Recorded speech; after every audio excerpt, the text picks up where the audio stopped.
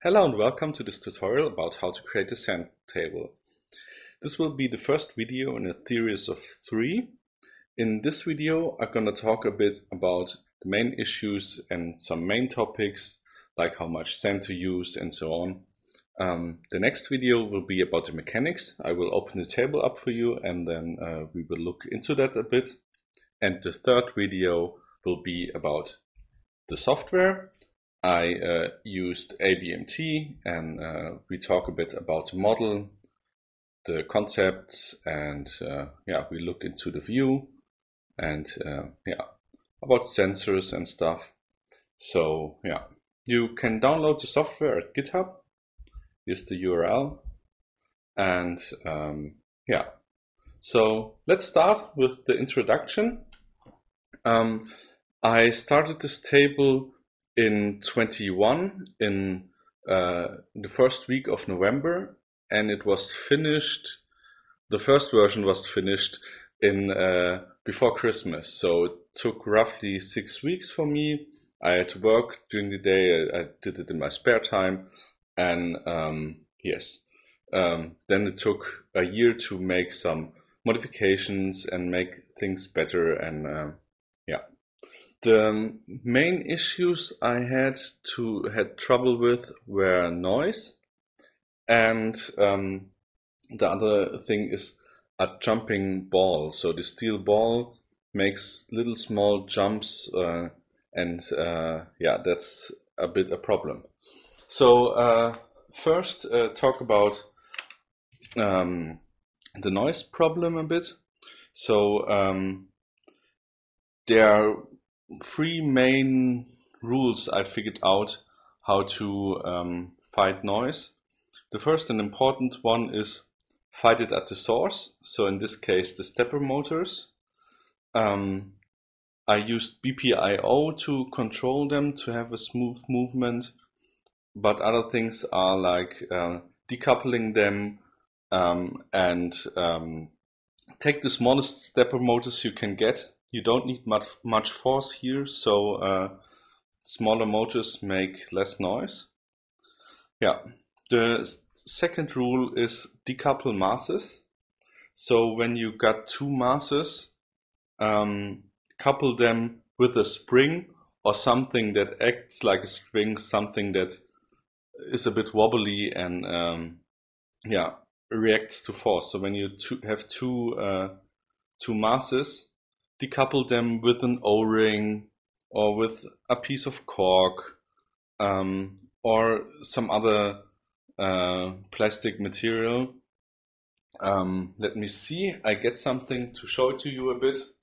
So I have uh, two pieces of wood here. So when I knock them, you hear that it's making noise. Now I decouple them. I have to hold it here a bit. It's, it sounds like much much less noise. The same here. So now it's these two masses um, vibrate, and when I decouple it, so now let's keep this here, and I add this O-ring here. Then you have much less noise. So this is uh, another uh, thing, uh, rule of design. And uh, another interesting uh, thing is reduce the area, the vibrating area. So uh, things like this, cut out when you don't need this area, cut it out. Then it will still vibrate, but not um, you won't hear it this much. This is a huge effect. I yeah. So um, yeah, for the rest, uh, yeah, another thing I did, uh, you could save some money, but I'm a bit, I don't like glass and I don't like the acoustic of glass. So I took a security glass here. It's two um, two layers of glass with a thin transparent foil, in between, and you hear this. So when I touch this, it's uh, yeah a much uh, better noise for me. Yeah. So that's another tip. Um, yeah, the rest, um, let's talk a bit about um, the slippery ball or the jumping ball. Um, yeah, so I have here my, my table combination. Um, one thing I did was uh, this, the surface here. So uh, thickness of the surface is important for, for the magnet force. You need much less than you think. So this table has a diameter of 60 centimeter. So the sand area is 60 centimeter, the whole diameter is 90. And um, yeah, uh, I started with uh, three millimeter wood and one millimeter foil. And uh, now I'm at one and a half millimeter uh, wooden plate. It comes from, I think, model RC airplanes. Um, yeah, and uh, the less the better. And uh, this bent, uh, the, the three millimeter uh, wooden plate bended also. You have a small bending here, so the center of the table is a bit uh, is at another level than the the corner. Um, yeah, and I decided that I uh, the magnet that's here that it slides on on this plane. And one thing I learned and how amazing Teflon is. So I used first of all uh, uh, the, my first uh, draft was um, was uh, fabric.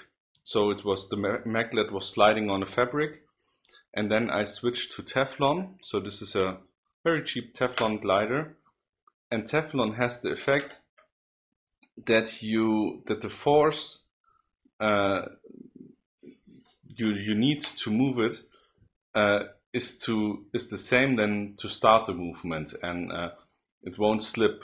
Yeah, so it, it slips, it glides, but uh, it won't jump. So I use Teflon here. Um, noise you hear now noise when I'm sliding it, but you won't hear it when it's in the table. Um, the noise problems you have are more from noises that are transferred through the whole table and not sliding like this one. So you hear also the ball when it's moving the sand and when the force is pressing the sand into the surface, uh, you won't hear this later. Yeah? But noises that, that travels through the construction and through the table, uh, you will hear them.